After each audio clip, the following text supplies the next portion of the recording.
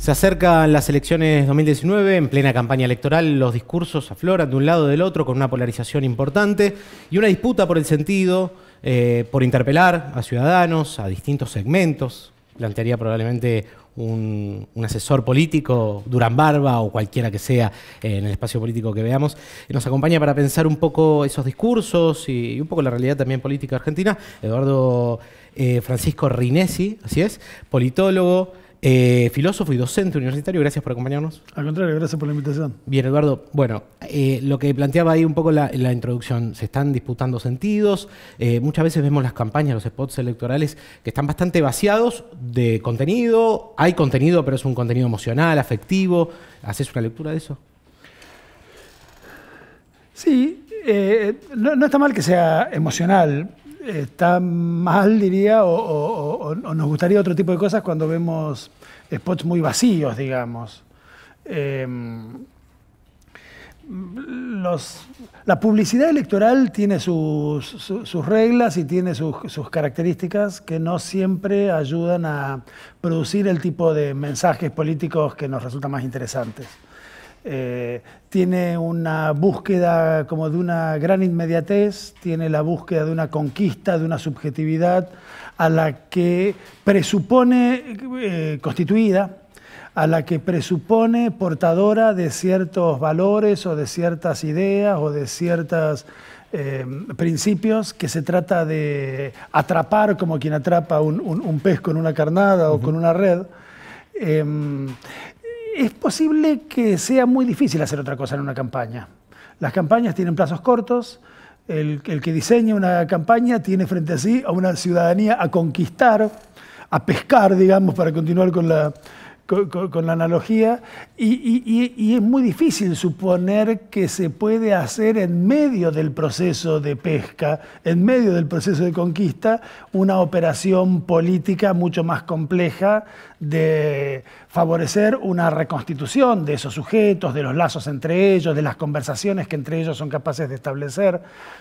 En, un plazo más largo o como parte de una tarea política más importante eh, eh, en la que un eh, gobierno, un futuro gobierno, digamos, de orientación avanzada, de orientación progresista, de orientación democrática, debería empeñarse, me parece que de lo que se trata es de no suponer preconstituidos a los sujetos a los que habría que interpelar para pedirle su voto, es muy posible que no podamos hacer otra cosa de aquí a las pocas semanas que nos quedan para las elecciones, pero me parece que de lo que se trata después es de producir otras formas de la subjetividad política, otras formas de la sociabilidad política, otras formas de la conversación política, otras formas de los lazos políticos que nos permitan imaginar que los sujetos no están condenados a hacer eso que hoy son cuando los vamos a buscar con un este, e, encuestólogo este, contratado, sino sujetos en permanente cambio, en permanente mutación, en permanente transformación y que pueden aspirar a formas más democráticas y más interesantes de relación con los otros y con la política. Eso implicaría una participación, asumo,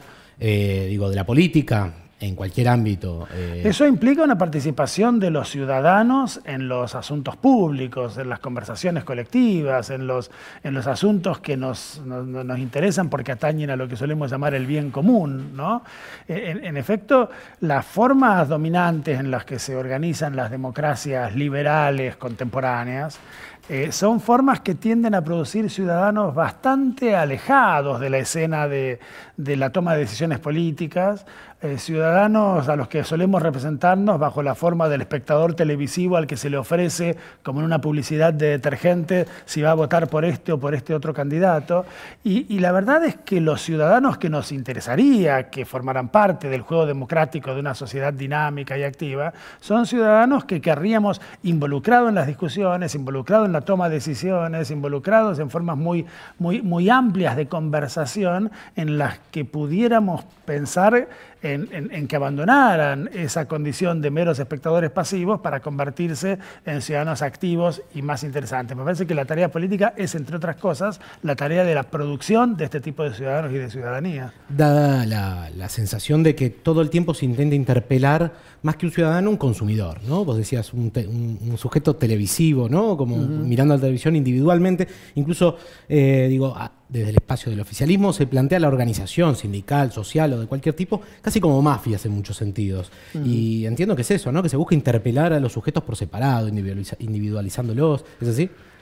Yo creo que sí. Por supuesto que la, identificación de cualquier forma de organización colectiva de intereses, la, identificación de cualquier forma de organización colectiva de las luchas, con, procedimientos o con formas mafiosas de organización es absolutamente ideológica, intencionada e inaceptable. Eh, es, evidente que forma parte de una cosmovisión o de una forma de representarse las cosas que querría que la sociedad pudiera pensarse como la pura suma aritmética de los individuos que la componen.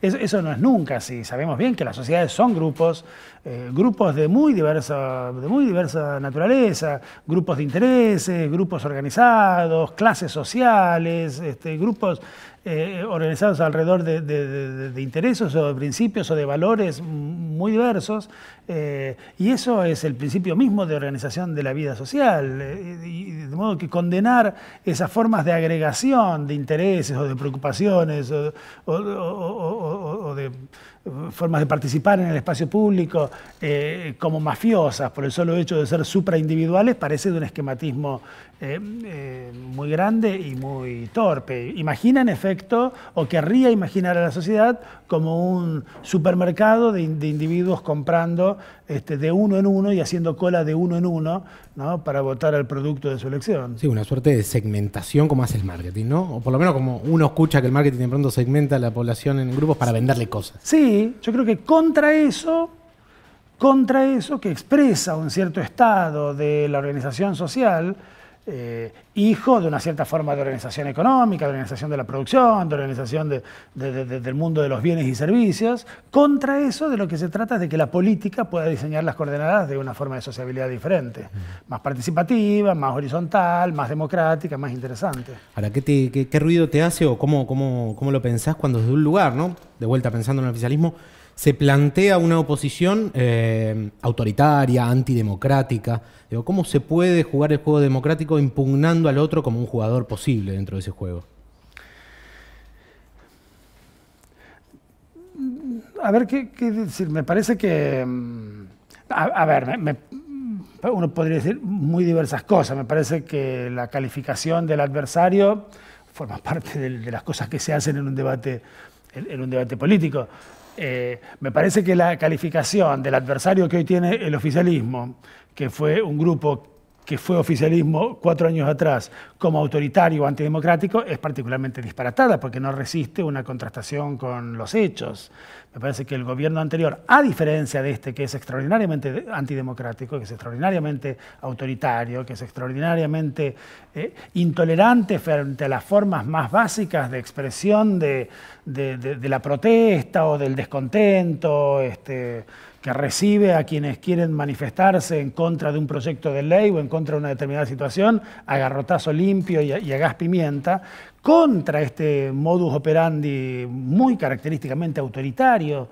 Eh, Em, practicado por un gobierno de derecha del que se ha dicho que se trata de una derecha democrática.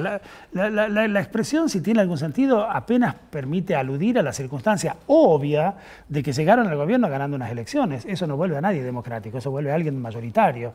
Decir que este gobierno de derecha que tenemos es un gobierno de derecha democrática, lo mismo decir que es un gobierno de derecha que vino después de 1983, donde se llega a, gobernar por la vía de las elecciones, es decir, no quiere decir absolutamente nada. Los comportamientos de este gobierno de derecha autoritaria que tenemos en, la Argentina son profundamente intolerantes hacia la diferencia, intolerantes hacia las, opiniones disidentes, este, intolerantes frente a la protesta, represivos frente a la protesta. Y la verdad de la milanesa es que a uno le puede gustar más o menos el gobierno anterior, uno puede tener más simpatía o menos simpatía, uno puede tener todo tipo de apreciaciones respecto al gobierno anterior. Nadie me parece que de buena fe puede decir que el gobierno anterior no haya tenido una preocupación extraordinaria, extraordinaria en el contexto de una historia argentina de 200 años, por la libertad de expresión más absoluta, por la libertad de prensa más absoluta. Fue el gobierno anterior a este el que en efecto le ordenó a las fuerzas de seguridad de la nación mantener el orden en los actos públicos de protesta y oposición a sus medidas sin llevar pistolas en sus cartucheras. De manera que yo creo que, que los contenidos favorables a la libertad, digamos, en el sentido liberal más básico, más tradicional y menos exigente, diría, sacando en un país autoritario como este, en el que esto mismo es bastante exigente, los contenidos liberales más elementales eh, eh, que, podemos este, pensar en la vida política democrática argentina están del lado del gobierno anterior a este que impugna ese, de un modo me parece a mí bastante absurdo, disparatado y eh, contrariante de los hechos de ser autoritario y no sé qué otra cosa. ¿En qué medida hablabas de, una sociedad o un país eh, autoritario? ¿En qué medida haces e, esa lectura? ¿Estás pensando en algún momento histórico o es una suerte de esencia que podés reconocer en todos los momentos de la historia argentina?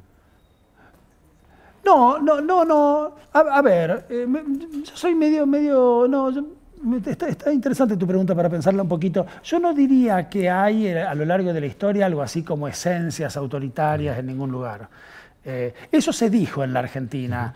Eh, después de la última dictadura, en los años 80, de lo que se dio llamar la transición a la democracia, se escribieron muchos artículos, se escribieron muchos libros, se dijeron muchas cosas sobre lo que se llamaba la cultura política autoritaria de los argentinos. Cierta, algo así como esencia o núcleo duro de autoritarismo que nos habría caracterizado a los argentinos a lo largo de la historia y a través de las distintas culturas políticas que se podían identificar, la jacobina, la desarrollista, la nacionalista, la conservadora, la revolucionaria, todas ellas tenían un componente autoritario aparentemente natural o constitutivo.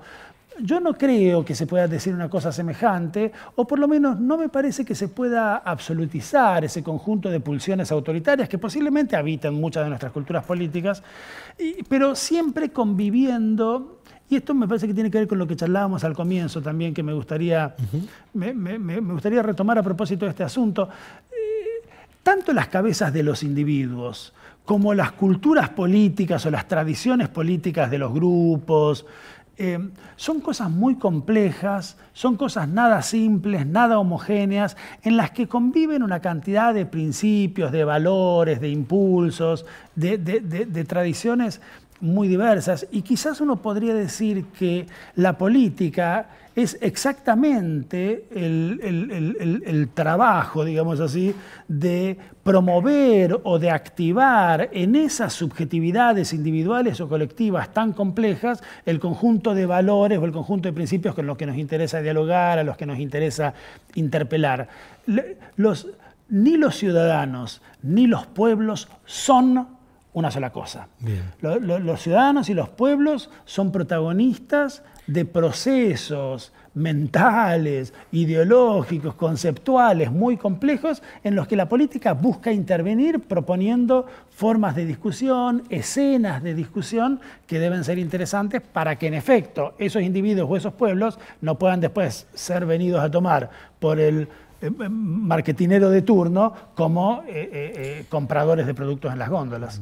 Si la política es esa herramienta o ese vehículo por el cual se llega a alguna síntesis por parte de, conflictos, de disputas, ¿cómo, ¿cómo, ves que desde medios de comunicación hegemónicos, incluso la política hegemónica, se critique y se, demonice tanto a eso que se llama grieta, la grieta? Que en realidad no sería más que ese conflicto de intereses explícito y, concreto y, sonante.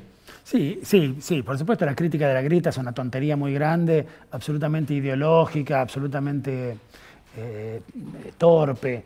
Eh, una sociedad es un conjunto de grietas o está habitada por un conjunto de grietas muy diversas en la medida en que los sujetos que las componemos pertenecemos o formamos parte de clases sociales diferentes, de eh, eh, posiciones ideológicas diferentes, de géneros diferentes, de, eh, ideologías diferentes. una sociedad no solo tiene una grieta, tiene un montón de grietas, eso es inevitable y además sin duda es bueno porque esas grietas, esos conflictos, llamémosla con un nombre más clásico y menos pavote, esos conflictos son la savia vital de la historia de las sociedades, es procesando esos conflictos, de modo que por supuesto es bueno que no sean violentos, es bueno que no sean salvajes, es bueno que no sean sangrientos, es encontrando los mecanismos apropiados y democráticos para procesar esos conflictos que las sociedades crecen y mejoran. Eh, lo interesante con la metáfora de la grieta, la verdad que no, no es un asunto en el que haya pasado muchas horas en soledad pensando, porque me parece una tontería total en la que la verdad que no, no, me he dedicado mucho a pensar. Pero ahora que me lo preguntas, lo, lo, interesante de la grieta, me parece, es que es algo que aparece identificado como un problema creado por otros, por aquellos encargados de señalar la existencia de esa grieta como problema. ¿no? Es decir, me parece que hay un grupo político, político, mediático, ideológico, gubernamental, hoy en la Argentina, que dice, hay ahí unos desgraciados que han construido una grieta, pero los que la construyen diciendo exactamente eso son los miembros de ese grupo para decir, todos los que quedan del otro lado de la grieta, mejor sería que se tomaran un cohete a la luna, como dijo el presidente de la República, o que se fueran del país de una buena vez, o que reflexionaran, que hicieran un acto de contrición, o que se volvieran macristas de una buena vez. Bueno, eso es una tontería. eso es una tontería. No, hay una, expresión más autoritaria que esa, ¿no? Digo, querer negar esa discusión.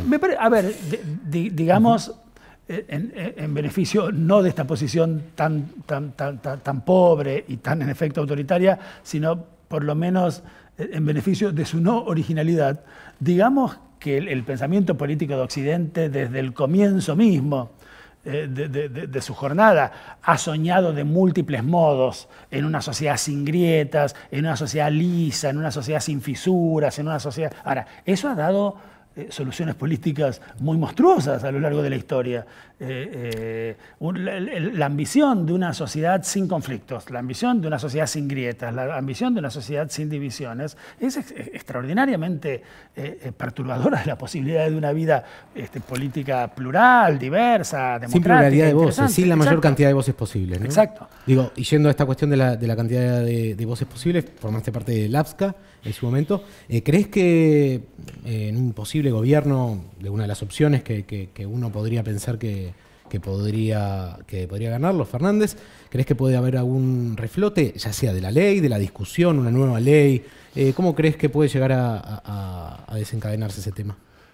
Sin duda, me parece que un gobierno diferente de este, que es un gobierno fuertemente sostenido por el apoyo de los grandes grupos mediáticos altísimamente concentrados, concentrados como nunca antes en la historia argentina, exactamente en virtud de que artículos muy centrales de la Ley de Servicios de Comunicación Audiovisual, que está vigente, está vigente pero reformada, han sido reformados. Eh, me parece que cualquier gobierno diferente de este o más democrático que este crearía condiciones mucho más adecuadas para poder volver a pensar en algunas de las cosas que planteó en su momento la Ley de Servicios de Comunicación Audiovisual.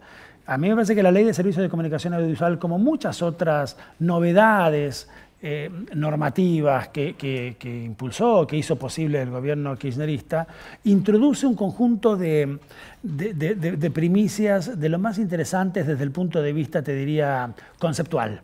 A mí me parece, lo voy a decir de un modo un poco tonto, un, poco tontamente provocador, pero digamos, me, parece que lo más importante que dice la ley de servicio de comunicación audiovisual, más allá de las cosas que decían los artículos que fueron eh, eh, eliminados o transformados, lo más importante que dice la ley de servicio de comunicación audiovisual es algo que sigue diciendo y que es fundamental que sigamos pensando, que es que la comunicación es un bien público y un derecho humano universal. Es decir, debe ser tratado como una posibilidad que tiene que ser cierta y efectiva para todo el mundo de decir lo que se le ocurra sin temor a ninguna forma de censura y de recibir una información variada, diversa y plural sobre todos los asuntos. Esos dos derechos, el derecho a comunicar y el derecho a ser informado, hoy en la Argentina no se cumplen y es necesario que se vuelvan a cumplir. En ese sentido, y sea cuales sean los mecanismos que en el futuro la sociedad argentina pueda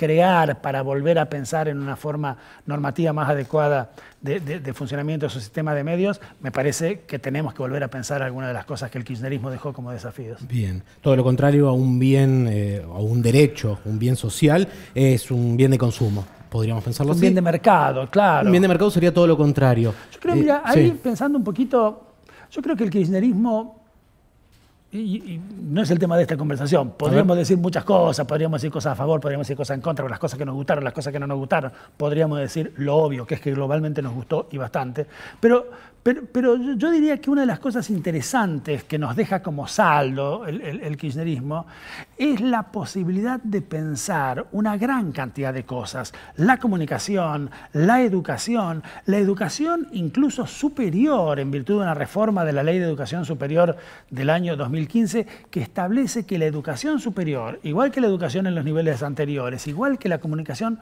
son hoy en la Argentina derechos universales. Es decir, cosas o posibilidades vitales que nos habíamos acostumbrado a pensar en la Argentina, que eran privilegios o prerrogativas de algunos, hoy tenemos leyes de la nación que dicen que son derechos que son o que tienen que poder ser de todos. Es necesario que un futuro gobierno diseñe las políticas públicas necesarias para hacer que estos derechos que las leyes proclaman sean, en efecto, derechos ciertos y efectivos para todos. Digo, de alguna manera entonces, que iba justamente a eso, ¿crees que el kirchnerismo o, esa etapa de kirchnerista problematizó el consumo? Digo, esta idea de tener a la educación, a la comunicación, a, un montón de, cuestiones que hoy se plantean como derechos, o un montón de gente lo, entiende o lo entendemos como derechos, eh, ¿crees que de alguna manera disputó eh, la lógica del consumo? ¿Llegó a problematizar profundamente eh, el consumo como... digo, ¿llegó a construir ciudadanías amplias y no consumidores? No, yo, yo creo que tu pregunta está muy bien y, mi respuesta es negativa. Yo creo que el kirchnerismo hizo una cantidad de cosas interesantísimas en el sentido que decíamos recién, de permitirnos pensar una cantidad de cosas, la educación, la comunicación, la universidad, como derechos y no como bienes de mercado. Pero eso no quiere decir que el kirchnerismo no haya alentado y mucho el consumo de bienes materiales, eh, al punto de hacer de ese consumo mismo uno más de los derechos que proclamó.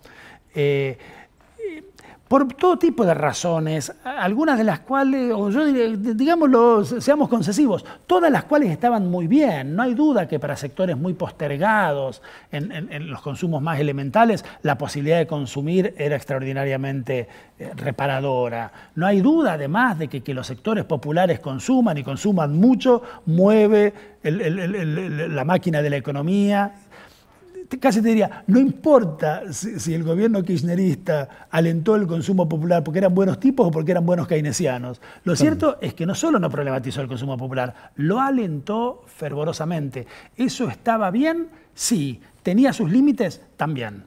También, porque produjo un tipo de subjetividad eh, eh, consumista, eh, consumidora, que era evidente que algún día iba a reclamar consumir aquello que el gobierno que la promovió no estaba en condiciones de ofrecerle. Por ejemplo, dólares. Entonces allí se armaba la podrida, ¿no? Respondiendo a tu pregunta... O estatus, ¿no? Digo, perdón que te interrumpa. O estatus, ¿no? O, más estatus, digamos. la vocación consumista es una vocación que no tiene techo. Entonces, alentarla también es un problema. No alentarla, obvio que es un problema, porque había, en efecto, muchos millones de argentinos muy postergados en el consumo. Entonces, no es que esté diciendo que ese aliento al consumo haya tenido nada reprochable, en absoluto. Estoy tratando de responder a tu pregunta diciendo que al mismo tiempo que el kirchnerismo favoreció, sin duda, formas más interesantes, más activas y más democráticas de ciudadanía, también favoreció, como parte de un mismo proceso de reparación de las postergaciones a las que venían siendo sometidas los sectores populares, formas fuertes de consumo, de consumo material. Además de docente universitario, uno de tus temas de estudio es la universidad, eh, la universidad como derecho, el acceso a la universidad. Eh, te escuchaba en alguna charla que hablabas de la intervención estatal en la universidad, de las formas de gobierno de la universidad, como el mayor peligro en, algún momento, en algunos momentos de la historia. Eh, hoy pareciera que otros poderes son los que están avanzando sobre la universidad, la investigación, la ciencia. Eh, ¿Te parece más riesgosos estos que los anteriores? ¿Cómo, cómo lo ves? La, universidad es una institución pública muy rara, es una organización pública muy rara, es una parte del Estado muy rara porque es una de las pocas partes del Estado que tiene la singularidad, la particularidad de autogobernarse. Un principio fundamental que, nos lega la reforma universitaria de 1918 es el principio de la autonomía universitaria, es decir, de la capacidad que tienen las instituciones universitarias para darse a sí mismas sus propias normas, sus propios reglamentos, sus propios estatutos, su propio gobierno. Eh, en muchas ocasiones a lo largo de la historia argentina, esa autonomía fue entendida en efecto como una especie de principio de independencia y de separación, sobre todo respecto a los poderes públicos. Eso es muy comprensible en la medida en que muchos de esos poderes públicos entraron a las universidades a los garrotazos y todos recordamos bien episodios fundamentales de la historia universitaria argentina en, ese sentido. De modo que cierto, cierto, te diría, impulso antiestatalista básico que a veces tienen las universidades no carece de verosimilitud histórica. Sin embargo, es evidente que cuando los estados no son estados dictatoriales o estados autoritarios, sino estados democráticamente organizados, preocupados por el desarrollo de la ciencia y la tecnología, preocupados por el desarrollo mismo de las universidades o por la capacidad de las universidades para aportar al desarrollo nacional, eh, muchas veces las intervenciones estatales, lejos de constituir un problema para la universidad, constituyen una gran ayuda para la universidad. Eh, y otras instituciones u otros elementos externos o internos. Las universidades también están habitadas por corporaciones internas que a veces imponen condiciones que no son necesariamente ideales para la producción de un conocimiento autónomo, libre. Todo tipo de otros, otros eh, eh, em, factores, digamos, de heteronomización de la vida o del pensamiento universitario deben ser tan atendidos como el, Estado que en los momentos más autoritarios del pasado argentino eh, fue un problema serio para el desarrollo de las universidades. El problema con el macrismo, cuando uno mira la historia de estos cuatro años, es que muchas veces ha impulsado al Estado a volver a intervenir de las formas más inaceptables en la vida de la universidad, por ejemplo, a través de la intervención en los campus universitarios de fuerzas de seguridad este, de, un modo muy inapropiado. ¿Espionaje? No, no, no ah. espionaje, ingresos, ingresos ah. de, las fuerzas de seguridad a muchos ah, campos de universidad. Sí. Ah, bien. Y eso es un, es un, un, atentado grande e inaceptable al principio de autonomía universitaria en sus formas más, más elementales. A esas formas de intervención estatal en la universidad, por supuesto que hay que condenarlas. Bien. Y a la promoción y a la, de alguna manera, intervención económica por parte de poderes privados, porque bueno, se ve que muchas veces, por ejemplo, y eso pasó durante el kirchnerismo y durante el macrismo también. Grandes corporaciones, Monsanto, Bayer, en general de desarrollo de agropecuario, eh, pusieron guita, plata, y eso de alguna manera condiciona la investigación. Yo veo que, eh, sí hay factores ciertos, eh, importantes de heteronomización de la vida universitaria, de heteronomización del pensamiento y de la orientación de las políticas de investigación en las universidades, frente a las grandes corporaciones agropecuarias, frente a las grandes corporaciones de la industria farmacológica o médica ahí, en efecto, las universidades deben eh, empeñarse en preservar su autonomía, su capacidad para decidir por sí mismas hacia dónde quieren avanzar, que no necesariamente eh, debe ser en un sentido contrario al de una articulación incluso fuerte con la vida productiva, con la vida económica, pero tenemos que saber qué es lo que estamos haciendo y discutirlo muy bien a través de los organismos democráticos de gobierno de las universidades y no aceptarlo este, alegremente como si no hubiera otra posibilidad. Muy bien. Creo que podríamos estar horas, Eduardo, charlando de estas cosas. Con esa pregunta que haces. Pero bueno, Son te todas dificilísimas, no sabía ninguna. te agradezco. Al contrario, al contrario, un placer.